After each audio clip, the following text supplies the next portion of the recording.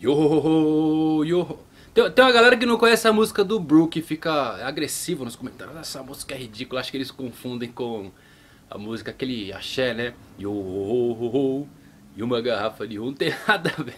Qual a verdadeira habilidade de Barba Negra? Qual seu verdadeiro poder? E como ele conseguiu duas frutas poderosas?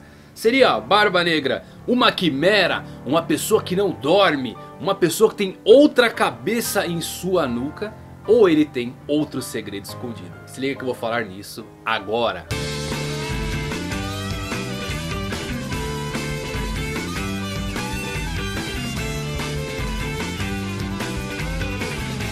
Fala galera, eu vou fazer aqui um vídeo pra vocês, como vocês estão, espero todos muito bem, espero que estejam todos muito bem Hoje, trazendo uma teoria muito legal como Barba Negra tem duas frutas, duas Akuma no Mi. Qual o segredo desse poder que vem remoendo há tantos capítulos os fãs de One Piece? A teoria não é minha, mas é muito interessante. Quem me enviou ela foi um modera do fórumsanimes.com. É uma teoria feita por um user chamado Noan, de repente ele está aí nos comentários. Eu vou deixar o link aqui na descrição dessa teoria se você quiser ler. A teoria está tão bem construída que eu não alterei nada dela. Do jeito que me foi enviado eu vou apresentar aqui para vocês. São boas evidências de por que Barba Negra tem duas frutas e qual o segredo daquele Jolly Roger dele de três faces. Isso mesmo.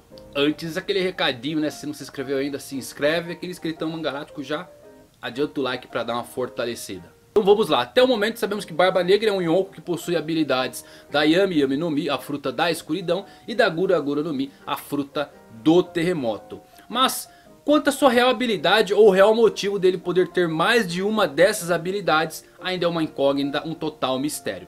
Então vamos a algumas análises feitas. A Yami Yami no Mi permite bloquear as habilidades quando o usuário da escuridão entra em contato direto com alguém que comeu uma outra Akuma no Mi. No capítulo 576 o Tite diz que é, ele pode absorver os poderes das Akuma no Mi tornando os usuários totalmente inofensivos. Ele diz que a gravidade da escuridão é capaz de transformar qualquer coisa em nada. Em japonês ele diz Subete wo ni kaizuyami no inryoku ou na tradução livre gravidade do escuro que traz tudo de volta ao nada, exatamente. Ou seja, anular a existência de qualquer coisa. A habilidade principal da Yami Yami no Mi, com certeza, é esta. Então muitos acham que Kurohige comeu a Zoanda Quimera por conta do seu Jolly Roger ter três cabeças. Mas o que diabos é uma quimera? Posso que você já procurou essa imagem lá do Google. Mas a quimera é uma cabeça e um corpo de leão com mais duas cabeças anexas a esse corpo. Geralmente cabeça de uma cabra ou de um dragão. É, e por ter três cabeças, muitos acham que é o bastante aí para o Barba Negra conseguir comer outras Akuma no Mi para suportar elas. Já foi mostrado que aquela cicatriz que ele fez no Shanks foi provocada por uma arma com estilo garras, ali no melhor estilo Wolverine, já foi confirmado. Logo, não foi uma forma híbrida de Quimera como muitos levantavam que causou aquela cicatriz. No entanto no capítulo 225 depois de ouvir o famoso discurso do Barba Negra. O sonho de um homem nunca tem fim. Luffy e Zoro apenas observam e escutam o que ele diz. E ficam aqueles três pontinhos, as reticências no balão. Como se eles estivessem pensando ou talvez notando algo. Depois disso a Nami indaga o que aconteceu e o Luffy acaba completando ali dizendo mas não é ele e o Zoro completa a frase dizendo são eles. Se referindo aí ao Barba Negra, a Nami não entende o que isso significa e pensa que eles se referem aos Nakamas do Barba Negra que provavelmente estariam ali por perto. Notem que a fala é são eles, dá a entender claramente que é mais de um ser que está ali no local. Logo não poderia ser a Quimera visto que naturalmente é um único ser com três cabeças. Essa fala confundiu muita gente pelo Zoro dizer são eles, achando que teria uma dualidade no corpo do Barba Negra. Mas como visto aí nessa frase, dá para entender que são mais de uma pessoa que está no local, provavelmente sim a tripulação do Barba Negra. Então visto esses pontos levantados, vamos falar um pouquinho agora da teoria. Então pode ser aí que o Marshall de Tite, o Barba Negra, comeu uma outra Zoan mítica. Essa Zoan se chamaria Hito Hito no Mi modelo Trindade ou Trino. O que é a Trindade? Ela é uma entidade descrita como sendo três seres distintos em um único corpo. E essa descrição bate muito com as falas do Luffy e do Zoro no capítulo 225. Também tem a possibilidade de cada ser distinto adquirir uma habilidade por compartilhar o mesmo corpo. Daria para utilizar as habilidades também ao mesmo tempo, como vimos aí o Barba Negra fazendo em Marineford quando ativou a Gura Gura no Mi em uma mão e a Yami Yami no Mi em outra mão. O Sengoku comeu a Zoa Mítica Hito Hito no Mi, modelo Daibutsu, que seria a fruta do humano, é, modelo Grande Buda. E o Buda, como muitos devem saber, ele é adorado na, na religião do budismo. A trindade é adorada na cristandade, é uma, uma entidade cristã. Então não seria espanto Oda utilizar a trindade como uma habilidade para uma Akuma no Mi. O Barba Negra tem em seu bando um membro chamado Jesus Burgers, né? o que já pode ser um grande indicativo dessa ligação cristã. Não é raro também nos mangakas aí em animes ver que os japoneses eles invertem o bem e o mal. Por exemplo, na Natsu no Taizai, os sete pecados capitais são os mocinhos, enquanto os dez mandamentos são os vilões, são as pessoas más. Então Barba Negra como a fruta da trindade, uma fruta de uma divindade cristã, tendo em sua tripulação alguém chamado Jesus Burgers, que é um membro do bando antagonista maior da série. Fica algo bem irônico, diga-se de passagem. Logo faria sentido Oda inverter ou dar ao Barba Negra, que é o antagonista maior, uma habilidade que retrata algo certo, bom para as pessoas do mundo real, transformando ela em algo ruim, como o maior vilão possuir um poder desse. Pensem bem, Jesus é aquele que trouxe luz ao mundo, ou ele mesmo é citado como sendo essa luz. E o Barba Negra comeu uma Akuma no Mi da escuridão, das trevas. Mais uma vez aquela inversão de papéis e também ironizando isso.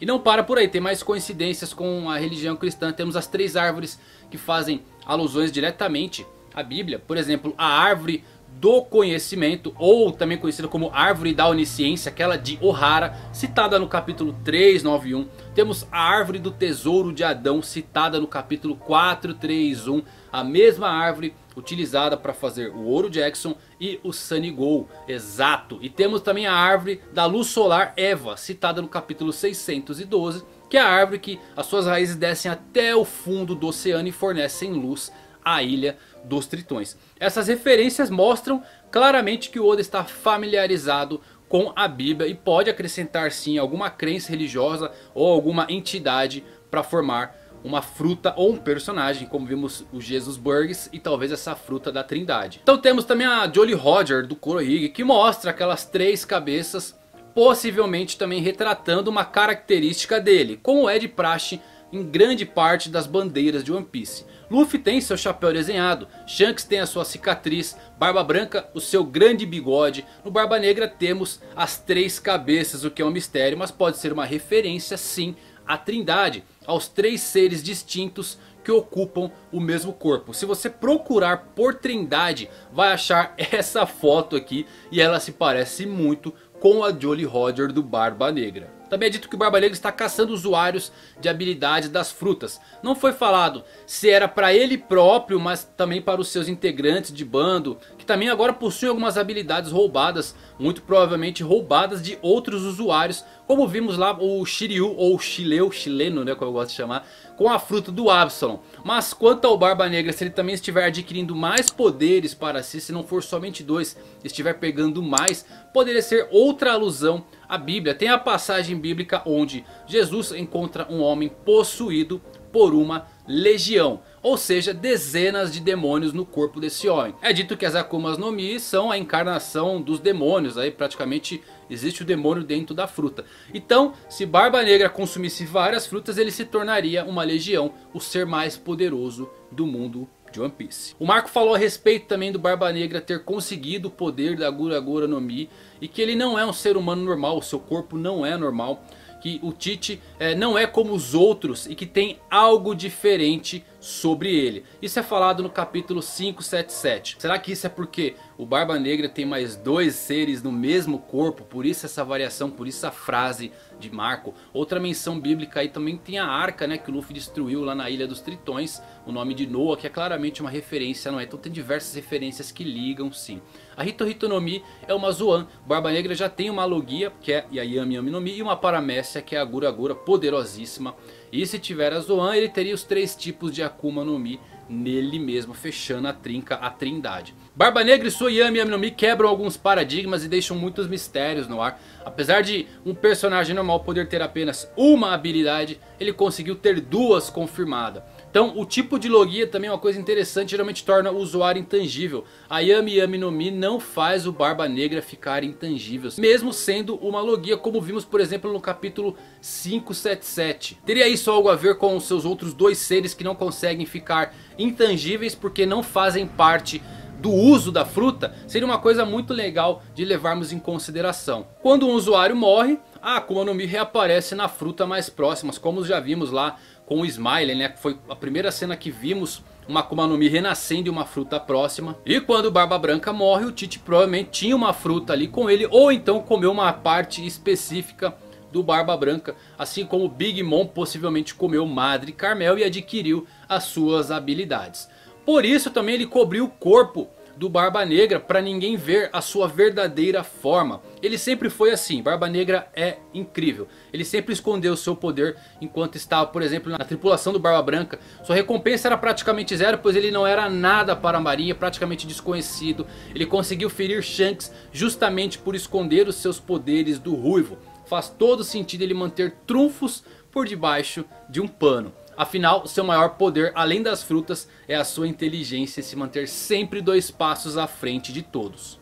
E é isso, é uma teoria que eu achei bem interessante por trazer algo novo, né? Temos as mesmas teorias sempre rodando sobre Barba Negra e essa é uma que eu não tinha visto ainda. Agradeço ao pessoal do Fall nos Animes por ter mandado para me fazer esse vídeo. Dá um confere lá no Fall dele se você quiser falar também de animes, de One Piece, enfim, o link está aqui na descrição. Uma variável interessante seria a fruta da trindade três seres em um único corpo, por isso conseguem ter três habilidades distintas. Duas amostras, uma em cada mão. É muito legal, né? Muito legal. One Piece é fenomenal. Deixa maluca para fazer milhares e milhares de teorias. Galera, espero que vocês tenham gostado desse vídeo. Se você gostou, manda um like, compartilha com os amigos. Chame eles aqui pro canal. Se você tiver qualquer teoria, pode mandar. Manda lá no e-mail que eu vou dar um confere com toda certeza. Tá bom? É isso aí. Até os próximos vídeos. Valeu por assistirem e fui.